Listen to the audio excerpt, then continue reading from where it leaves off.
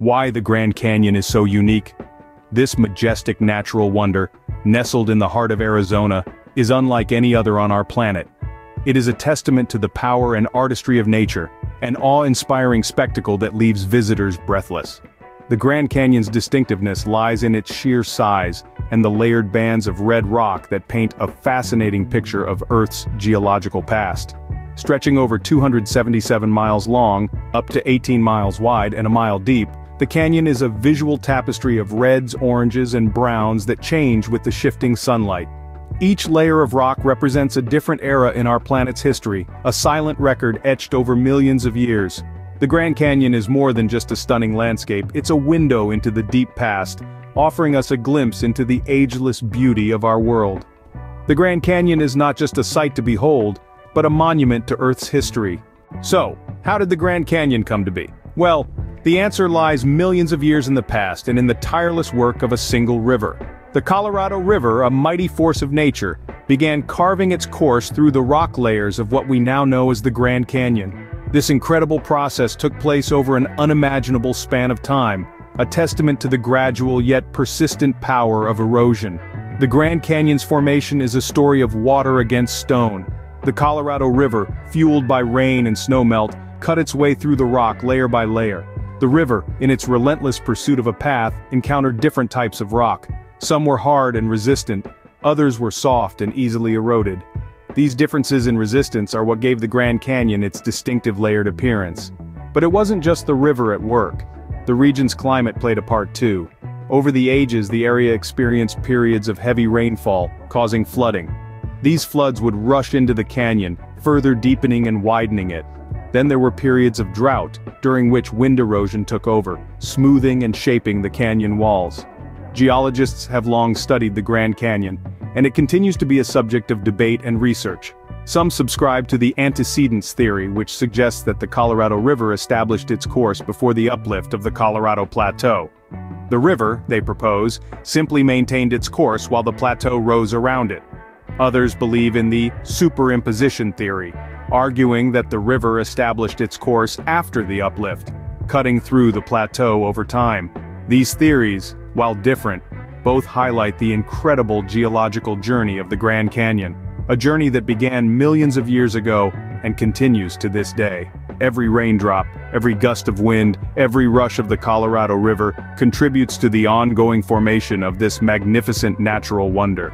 And so, we see that the birth of the Grand Canyon isn't a single event, but a continuous process. A process that showcases the unyielding power of nature, the persistence of time, and the ever-changing face of our planet. The Grand Canyon is indeed a testament to the power of water over time. The Grand Canyon's history isn't just geological but also human. From the ancient Puebloan people to the Native American tribes and later European explorers and settlers, the Grand Canyon has been a witness to the ebbs and flows of human civilization for thousands of years. In the beginning, the ancient Puebloan people, who lived in the region around 2,000 years ago, left behind traces of their existence in the form of petroglyphs and artifacts.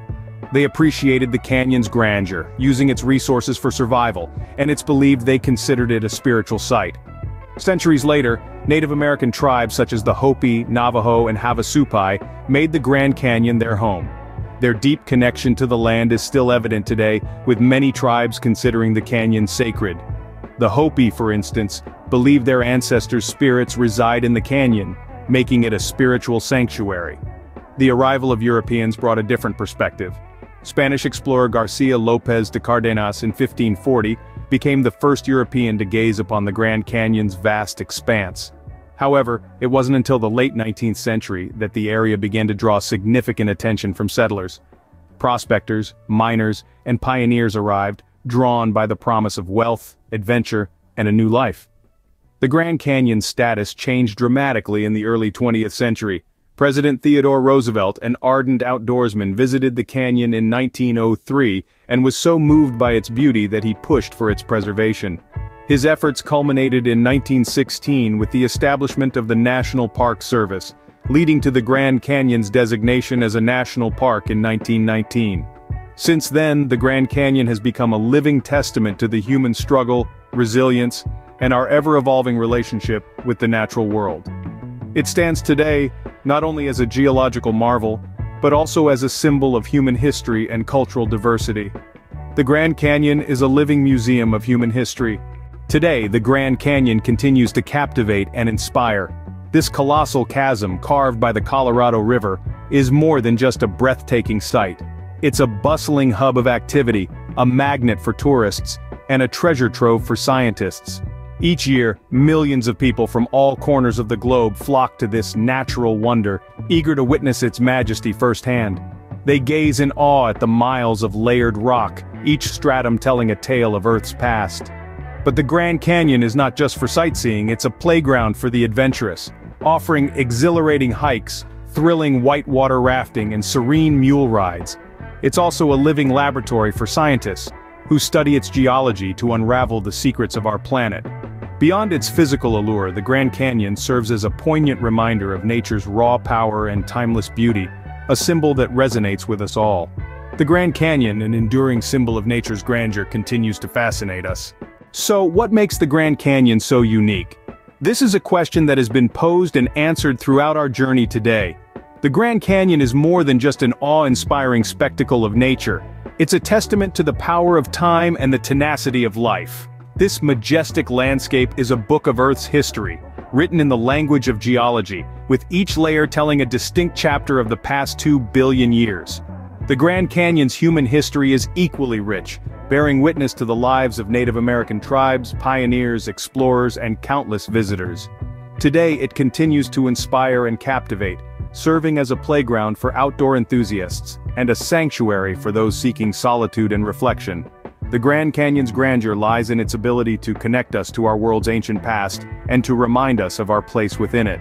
Whether you're a nature lover, a history buff, or just someone who appreciates beauty, the Grand Canyon has something for everyone.